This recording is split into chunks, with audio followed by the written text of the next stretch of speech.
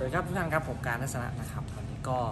เป็นเกียรตินะครับรับบทนะครับเป็นเกี่ยวกับคนทำพิธีกรรมนะครับ ผมสื่อสารกับพ่อปู่องค์พญานาคีนะครับนาคราชด้วยนะครับในเรื่องระบำนาคีทางช่อง 9 m c o t นะครับยังไงก็ฝากกับทุกท่านติดตามด้วยนะครับสำหรับละครเรื่องระบำนาคีครับ